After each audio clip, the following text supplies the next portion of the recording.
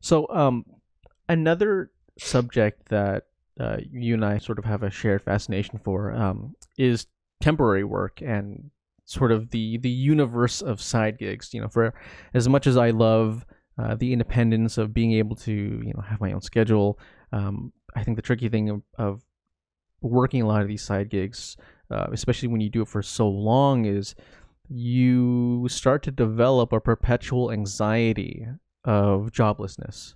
Yeah. And you're always thinking about this, you know, like what am I going to do next? What's going to happen after that? How long is this going to last? Like, uh, what's it been like for you? You know, what kind of what kinds of side jobs have you had, and how has this process been like for you?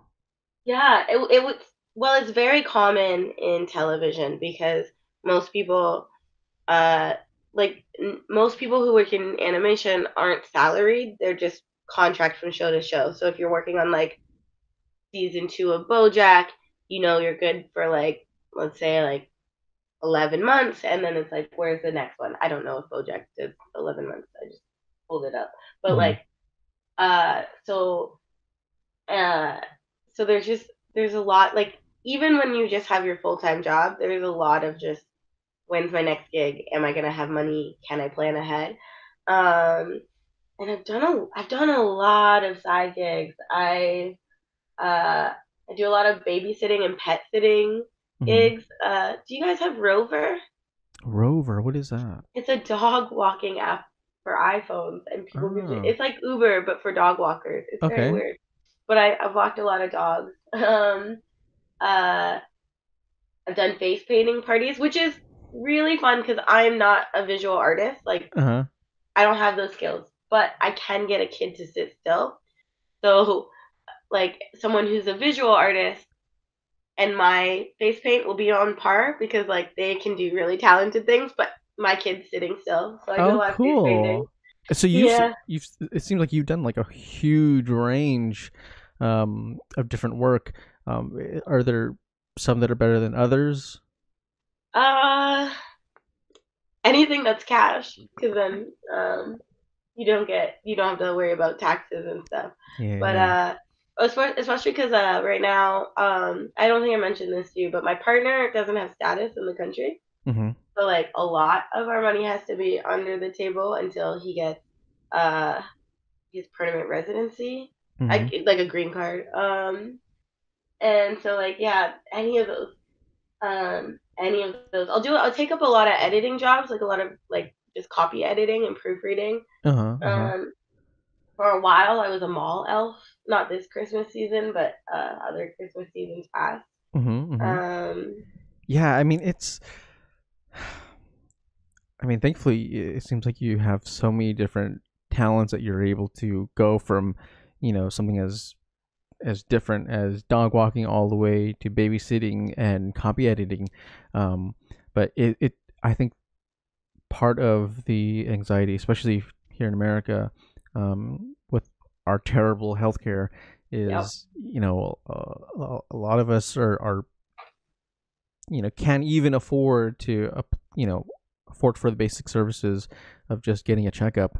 Um and you know it seems like we're both sort of in the same boat of like you know how how expensive is rent? And you know the fact that most people just cannot afford i mean like when you're talking about a a rental price of like 2700 it's like who like you're setting a price like that you're really making a point about who you think should live there yes. because there's only certain people who are going to be able to you know afford something like that comfortably and unfortunately this you know this pushes out a lot of people not even just if, if, we're, if we're talking about race and we're talking about people of color who are being excluded from a lot of these neighborhoods but you're also talking about excluding a lot of different professions and a lot of people of different industries. Um, and you know I, I, think it's so um, it's interesting how even if, if we're talking about entertainment and and and you know people who are actors or people who are in production um you know there's always this misconception that you you work on a big project you're, you're working on a big name like oh my gosh like you're working on this show they think that you're rich but a lot of these jobs like you were saying like they're for a certain period of time and then Yeah. within that space like if you're working on a project for 11 months you know the next five months you have to worry about where you're going to you know be able to supplement your income from so eh, it's like side jobs are it's great that we have so much access to quote quick money and, and, and some of these jobs but it's so unfortunate that a lot of people are starting to feel like they can't find a stable job at all and now side gigs are the only thing that they can do. Yeah yeah and like uh we do obvious not obviously but we have better healthcare than you but uh um shout out to canada i guess but uh it is one of those things like so my current gig it's good to go for like a good while mm-hmm. and uh everybody likes to talk about how canada's healthcare well everybody here likes to talk about how our healthcare is so good, but I think it's because we're comparing it to you guys. like the yeah. bar can't. That's like a constant problem of Canada. Is uh-huh. like we are always comparing ourselves to you. Uh-huh. Then we always like pat ourselves on the back for like not good shit. Like, uh... like at least ah. we're not as racist as the U.S. And it's like actually we are. And why is that your bar? And like our healthcare is better than the U.S. But uh, I have work benefits.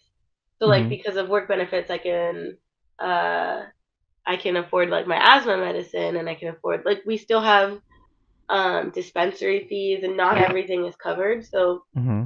it's like still like a constant stress. And then like like I said with my partner, like he doesn't have healthcare right now because he's not he doesn't have status.